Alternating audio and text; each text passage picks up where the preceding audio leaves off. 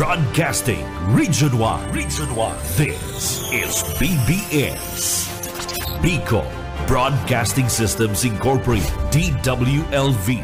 91.9 megahertz. Your news and music stations. And music station. BBS. Basta Bareta. Sigurado. Alas 6.53. Hali sa BBS News Center Naga. Uyan na ang mga nagbabago. Let's go! Mga baretang sigurado. Ini ang BBS Primetime News. Ang atugang marinaga po sa Ilocos ako po si Junel Cuba. Ngunyan sa headlines kita kan mga barata sa lado lokal. Sarong lalaki, nada ko pa na ni da droga, na akuanan pa ning duwa nga kalibre 45 badil. Sa sa tuya pa nga pamayukan na mga barata sa lado lokal. Sa sa tuyang uh, pamayukan na mga barata sa lado lokal, uh, simbahan katolika preparado naman da para banda sa nagdadangadang na Simana Santa. Sa iba pa nga pamayukan na mga barata sa lado uh, lokal.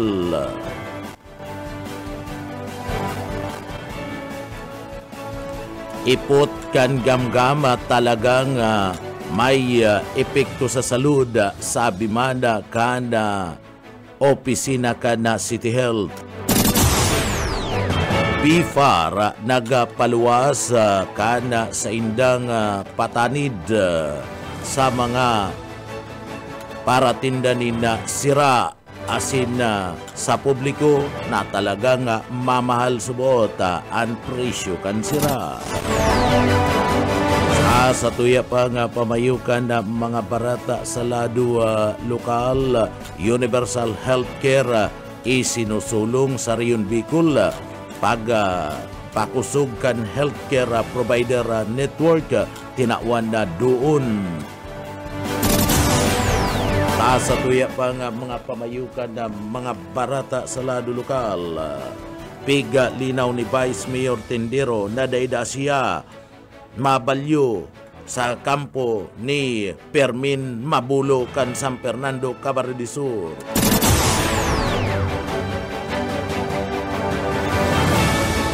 Iba pa nga pamayukan mga barata sa lado lokal. Gigibon sa maabot na biyernes ana sisyon sa barangay kanda libmana na kabaredisor kan sangguniang bayan da bisita iyo mismo si alkalde uh, Jess Camara kan libmanan Kamaredisor. Regular uh, ang ginigibong monitoring kan LGU Kalabanga sa parte mismo kan mga irrigation facilities uh, Uli man kan posibleng epekto na darawon kan El Nino sa saindang banwaan.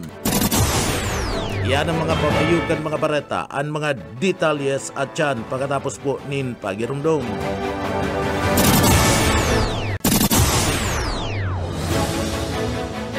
Mga tugang liwat maray na aga po ako po si Junel Cubang. Unyan sa detalyes na kita kan sa tuyong mga barata sa lado lokal. Sarong nga lalaki ah, dumanda sa parte mismo kada banwaan kada bato kabaridisura ana nadakop sa illegal na droga asin man badil kan mga miyembros kan Philippine National Police. Sarong lalaki ana sinasabi nga nadakop kan PNP Batu sa pagbalga kan Republic Act 9165 illegal na droga asin man Republic Act 10591 illegal possession of firearms iyan sa bisa kan na search warrant na pinaggibo kan mga miyembros kan na PNP Batu banda nga alas 8 ni na pagkaaga Marso 19 kasudma sa suna sa isa barangay kan Bulwang Bato Cabaridisur nagsagibo kan pinagapod na search warrant operation kontra illegal na droga asin illegal possession of firearms. Ang mga tauhan kan na PNP sa banwaan kan na Bato Cabaridisur nagresulta kan matrayumpong pagkakaaresto kan alias sa Tan 44 anyos sa Mayagumba. Kan barangay kan Bulwang sa banwaan kan Bato Cabaridisur sa search operation na pinaggibukan mga autoridad sa residensya kan na suspect nakakuha ana mga ini nin tulong medium size uh, na plastic sachet na may laog nin shabu. Duang badil kan kalibre 45 asid na may trademark na ordinance and colt ana nasambit na nga operasyon ka na mga autoridad bunga naman ka na pinagapakusog na kampanya laban sa illegal na droga asin man illegal possession of firearms. Sa Banwaan kan Batok Cabaredisur na pinagapanginutan ni Police Major Ronald P. Brugada ang Chief of Police kan na sinambit ng Banwaan ang suspect yaon ngunyan nakakulong na sa hipatura kan pulisya duman sa Banwaan kan Bato Camarines Sa iba pa nga detalyes kana sa tuya pa nga mga barata mga barata pakitang unyad sa lado uh, lokal. Sa iba pa nga detalyes kana mga barata sa lado uh, lokal. Nag-arangkada sa manlain-lain ng mga probinsya sa Bicol Region and uh, pinagsasabing asistensya ngandrug kan Department of Social Welfare and Development uh, DSWD sa Intirong Kabikulan. Iyan kasabay naman kan na pagbukas kan registration process kan na PILSIS Identification Card para man sa mga miyembros kan na porpisa duman sa banwaan kan dait para kali labo Camarines Norte asin na pinanginutan yan kan Department of Social Welfare Development DSWD sa Kabikulan katuwang an Provincial Office kan Philippine Statistic Authority sa sinambit na nga probinsya. Kasumpay kan bagay na ni maabot naman da at uh, umaabot man da sa Sangatus. Asin man da 85 mga benepisyaryo gikan sa parte mismo kanda o 185 nga mga benepisyaryo gikan mismo sa parte mismo kanda Banuan Candil Gallego Camarines Sur.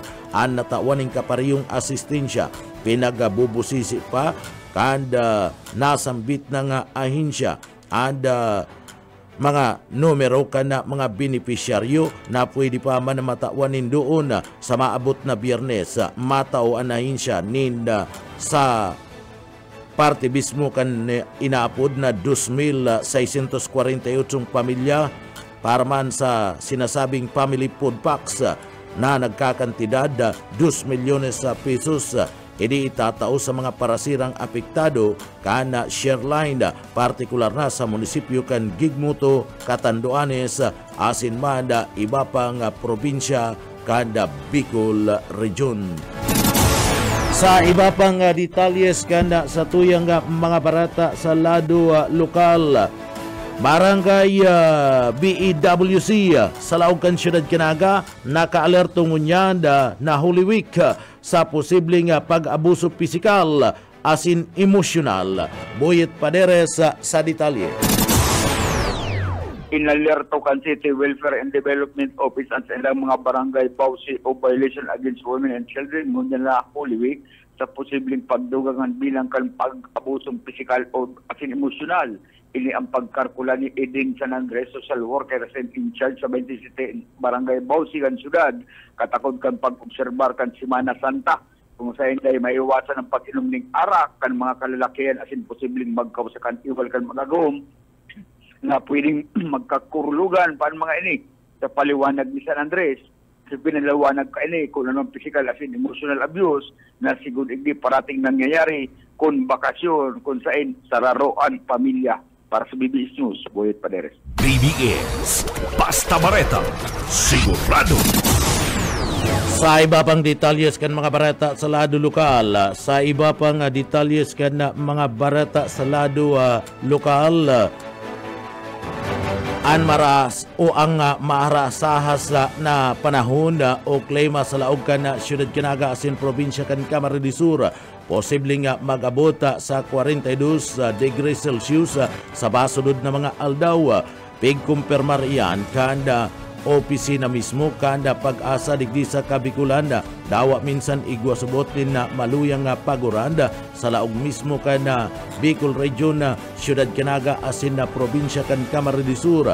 Posible nga magpako man giraray sa 42 degrees Celsius ana init na namamatian ka na tao sa mga masurudod na mga aldaw. Sa ngunyan normal pa sana anda panahon da alagad. Pagkatapos kan bulan kan Marso asin paglaog da kan bulan kan Abril mas lalo pang mainit ang temperatura sa laog mismo kan probinsya kan Camarines Sur.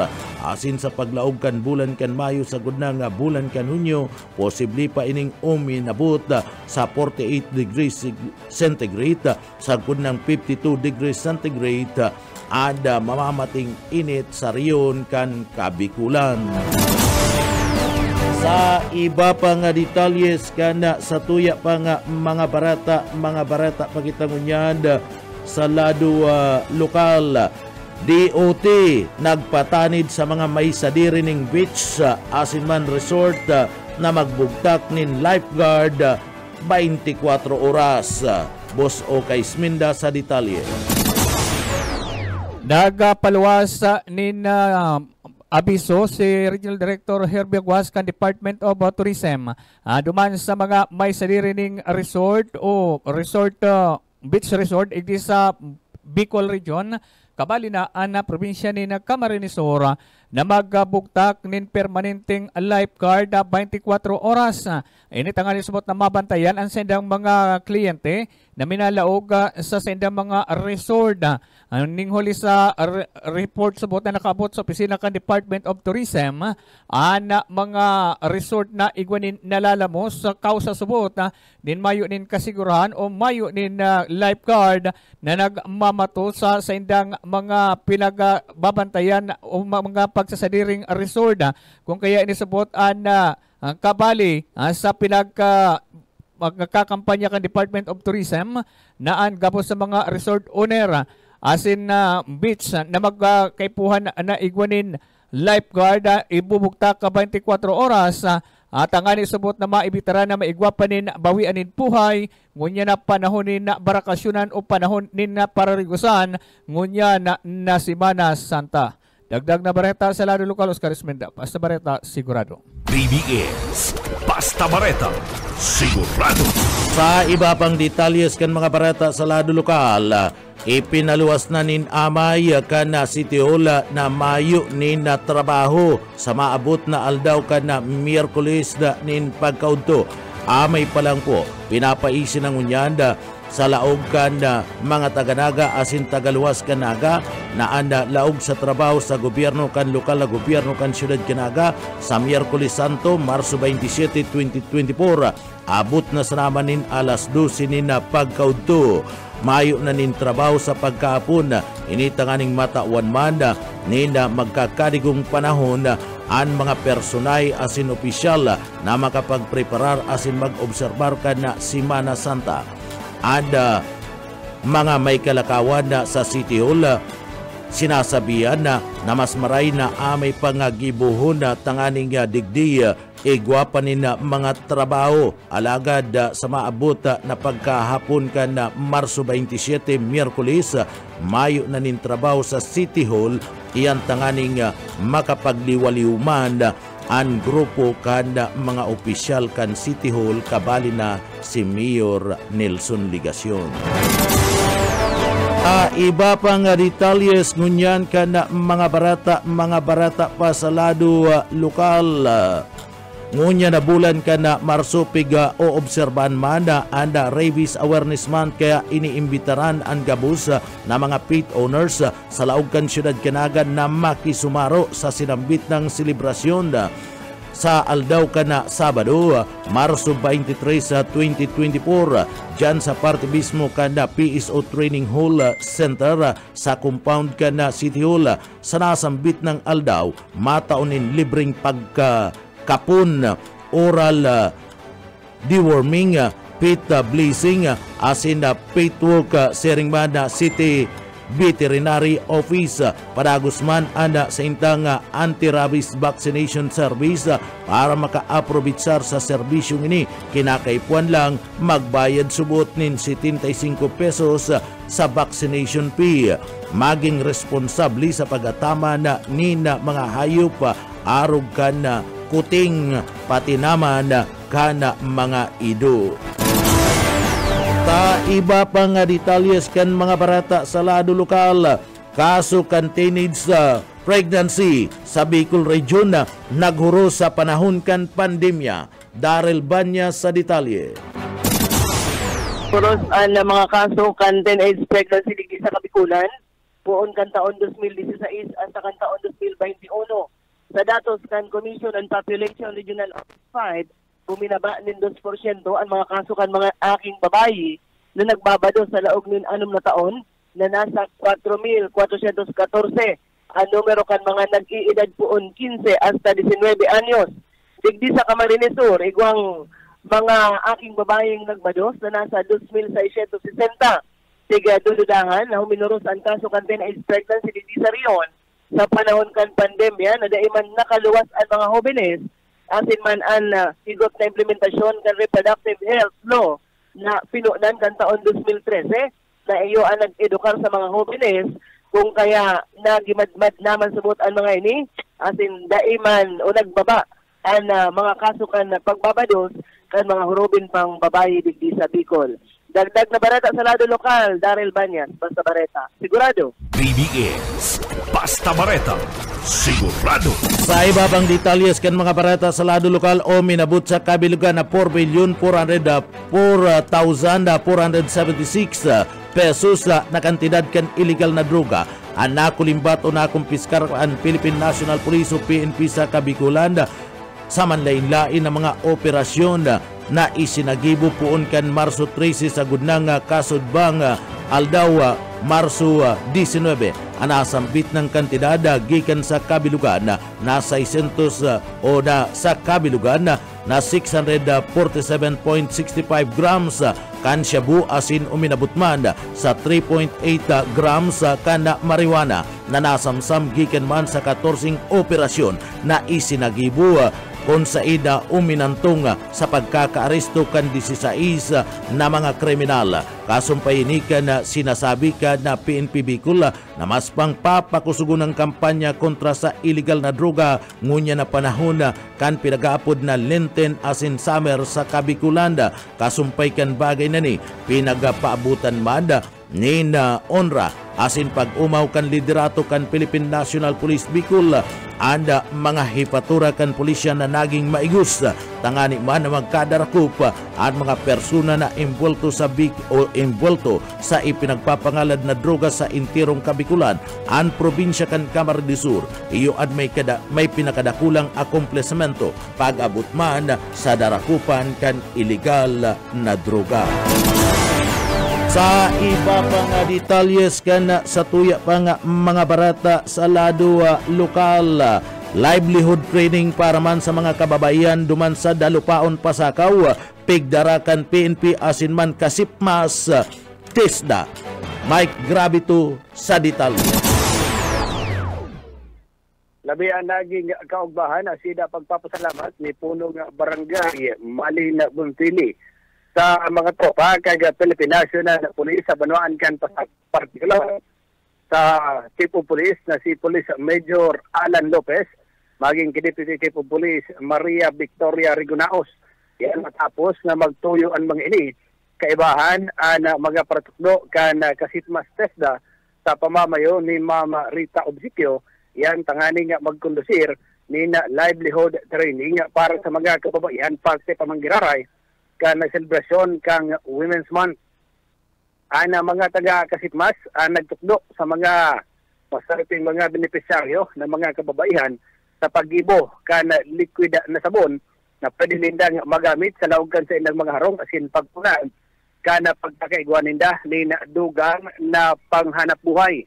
Apwede kani ana mga pulis sa Banuan kan Pasakaw ang naglektura man asin na nagtukdo nagseminar sa mga barangay tanod ka nasambit nga guys sa Postales na Banoan kan Pasakaw yan na para magamit man sa pagutob kan sa indang mga trabaho bilang mga barangay tanod kan barangay kan na Dalapaon.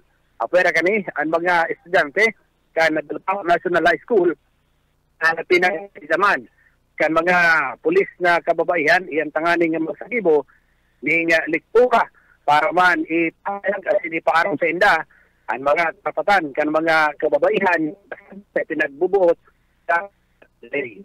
Para sa publiko, si Mike Gravito. Sa Barata, sigurado. BBS. Basta Bareta. Sigurado. Sa iba pang detalles kan mga barata sa lado lokal, mas pang pinapakusugunyan kan liderato kan Philippine National Police o PNP sa laog kan na probinsya kan Camarines Sur. Ang pagdul nin seguridad asin pagbabantay sa mga tourist destination sa manday-day ng mga banwan digdi sa laog kan na probinsya kan Camarines Sur. Poon ngunya na Holy Week asin manda summer season ah, kung sain lauban na subuot ang pagdagsa kan mga turistang mabisita sa manday-lain na lugar kabali na mga bakasyonista. Uli kani, pinagabisuhan kan liderato kan Philippine National Police o PNP, digdi sa laog kan na probinsya kan na Camarines Sur, ana mga chief of police na kung sa ina igwa mga lugar na pinagdadayo kan na mga turista. Asin man kan mga bakasyonista na pakusugon na maray ana sa indang pagbabantay urog na ang mga tores sa pulis inuli tadigdi dapat ah, masiguro subuot ah, ang seguridad ah, kanda mga bakasyonista asin man mga turista na mapasyar sa sindang mga lugar. Saro sa nakatalaan na bisitahon na, lugar ka na PNP digdi sa laog ka na probinsya ka na Camarines Sur. Iyo ada banwaan ka na Karamuan, banwaan ka na Siroma asin na iba pang mga lugar na kung sain pinagdadayo kan mga turista sa kada minaabot ang panahon kan bakasyon asin Simana Santa sa iba pang detalles kan mga barata pagkatapos po nin pagirumdum. Sa iba pang nga detalles kan sa tuya pa mga barata sa lado lokal, bighagad ngunyanda ni Vice Mayor Jerry Tindero kay Permin Mabulo, Mayor ka na San Fernando Camarines Sur, natapuso na ang issue asin punduan na siya. Asid na ang pagparaistorya ni Mabulo na siya. Anda subuot digdi mabalyo na sa kampo kani sigun kitindero digdi uh, subuot da permi siya nga pinapadarahan na ni na tao di Babulo. Tanganing kumbensyon na asin na maglipat ah, sa kampo kani minsay ni Tindero Kimabulo na ana sa iya nga loyalty yaon daa sa mga Villapuerte ki Congressman Elre Villapuerte asin man Congressman Mig Seringman ki Gobernador uh, Luigi Villapuerte asin man uh, Mayor Jessa Camara nanindugan na siya kung sa ina nagpuon na dumanda siya matapos. Uya si Vice Mayor Jerry Tindero kan Ayun po sa mga nagdadang po dyan ng mga tijusurogo iding, uh, aram na po nindo yan na ang loyalty ko, pero niya po kay Congressman Elroy, kay Governor Luigi, and kay Mayor Jess. And uh, tapusun ta na po ang isyong yan. Ako po, ayun po, ako po sa part ko po, uh, sabi ko nga ni, gusto ko makatabang sa administrasyon ni Kamara, ni Mayor. Uh, siguro po, tapusun ta ng istorya yan. Ta, number one, uh, nailing man ba ganindo ang pagiging loyal ko sa mga, uh, siguro dadawag man si mga allies man yung Mayor Permin. Oh. Siguro, minsay ko ni kay Mayor Permin. Uh, siguro, ako po, ang loyalty ko talaga, Mayor, talagang uh, niya ako sa Villaperte. Kaya, pasensya kita, pero padangat ko si Kong Ilrey, kay Governor Luigi, sa kud si Mayor Jess. Kaya, ako naninindugan lang ko kung saan ako nagpuon, doon man ako matapos. Uh, sa kud, uh, ang pagpadangat ko kaya sa magaramang Villaperte. Kaya sa mga minsayro po dyan, ay gunaman ka mong manokig. Yun na to ang kwento nito. Artiyan kan mga payag ni Vice Mayor Tindero kan Libmanan na loyal da siya sa mga Villapuerte. Sa iba pang detalles kan mga bareta, piglinaw man ni Vice Mayor Tindero na dai siya nag ah, aambisyon na magdalagan bilang alkalde kan Libmanan. Ikadua, mayo da siyang planong maglaban kay Mayor Jess Camara maski ano da ang gibon sa iya manin, maninindugan siyang loyal kay Congressman da El Villafuerte, Congressman Migs, Gobernador Luigi, asin na kay Mayor Jess Camara, ngun bako da siya nga loyal sa Team 1 Kamsur, nag-iba na kuta na da subot siya sa mga taong pigsusugo periper minimabulo, asin binabalik-balikan an sa iyang residensya Tuga da sa iya ni Babulo, siya ang gigibo na panlaban na, na mayor sa Banwaan kan Libmanan. Uya si Vice Mayor Jerry Tendero kan Libmanan Kamsur. Uh, entertainment, sinawon ta pong maray. Entertainment po, day, number one, day po ko nag-aambisyon. Pangalawa, mayo kong plano pong magtumang Mayor Jim Camara. So, fake news po yan na ako po dama mayor. And at pangalawa po, maski po anong gibuhon sa kuya, ako po, loyal ako kay Congressman El Reng, kay Governor Luigi, and kay Congressman Mix Filiper. Kung day po ko loyal sa inda, natin papara para likan po ko, di kan tao ang balyo, nag-iba na po ko ta ako. Ito pong mga nag-aambisyon man sa bayo, mga so magkandidato maglaban man sa Governor. May mga tao po sila sinusugo. Uh, po, ah, po yan po ning kung ako po dam iba senda. Ako po saro lang simbag ko. Ako ako po saro lang simbag ko. Ako po padapat ko po si Congressman Ibre, Governor Luigi. Eh man po yan, ako isa plastic totoo po yan. Dahil ko po i-revive ang magamang pero and uh, lalo na po si si akin niya si Congressman Mig. Nagayo po man ako duman, kay Governor, dating Governor. Kaya ako nagtatanaw ako ning unang nabuot kay Congressman El Rey and kay Congressman Villaperte, and lalo naman po kay Governor Luigi. Ah, padangat po ning magaramang Villaperte ini. Kaya ako po, ano yung si, nasa enda po. At kaya, mayo po, ano, ano pong yung nakakaarbot, fake news po yan, ta, aram po yan ng Regis Camara, kung ano po ang tinug ko. Ta, ang mensahero niya po, tigo opera ninda ko, magmayo, oh, sa ligmana. Ay, simple lang baga sir Binja, simbagon yan. Oh. Ay, ako po nga ako, committed ako kay Mayor Jess, kay Congressman El Rey, na padangat ko ang mga boss ko, dahil ko dumasuway. Naroon lang po kayong kasimple kasi, abo ko pong pagparaon Artian ka na mga pahayag ni Vice Mayor uh, Jerry Tindero kanda Libmanan Kamara de Sur sa exclusive interview kan programa nga Radyo Banat ni Benji Rivera. Sa iba pang detalyes kan sa tuyang mga barata sa lado lokal, regular ang ginigibong monitoring kana LGU kanda Asin Municipal Agriculture Office kan Banwanin Kalabanga Camarines Sur sa mga parauma asin irrigation facilities sa, sa posibleng epekto na darakan na El Nino sa Sindang Banwaan. Da orog na itong mga irrigation na, na ginagamit ah, kan mga parauma yaon man ang regular na pagtao kan na lokal na gobyerno kada financial assistance bani asin na abuno bilang tabang sa mga apektadong parauma pati naman ang mga paratanom ah, nin maisa ulit tagabusman ang mga ni naapektaran kan na pagtama kan El Nino digdi sa laog kan kabikulan uya anda parte kan mga pahayag ni Mayor Eugene Severo kan banwaan kan Kalabanga Camarines Sur. Yes po, actually uh, currently uh, monitoring pa rin. Regular monitoring kami kasi mga uh, irrigation, si mga ginagamit ka sa tuyang mga parauma and uh, of course regular din ang pagpo-provide sa aside ka iyan ng mga uh, financial assistance kung bako man po ng sa banhi sa abuno. Gabos po yan ipinaprovide sa parauma. Uh, bako lang sa inda si para maista din ng mga tugang kasi gabos yan naapektuhan kang inyo. Pero iyan po, yearly may ginigibo po iyan. May mga subsidies din kami. Uh, aside from sa national, iba po sa site kan munisipyo.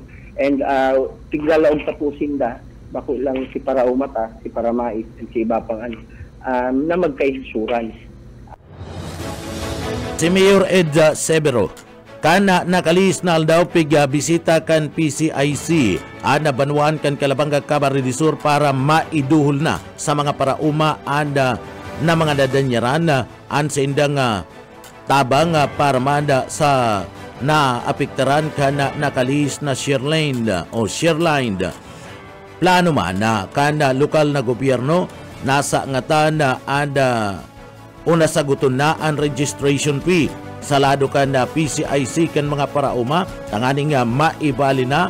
And uh, mga inisa insurance. Uh, and uh, mga parauma sa Banwaan kan Kalabanga Camarines Sur. Uh, mientras na nag uh, kaigwaman na ni na pagsurat ang LGU sa paagiman na ni Mayor Severo kana nakalis na taon na sa National Irrigation na Administration. Na tabangan sinda na maiimplementar asin na may improve an irrigation facilities sa saindang duang area sa Banuan kan Kalabanga kung sain saro sa piga lalaog nin tubig askad.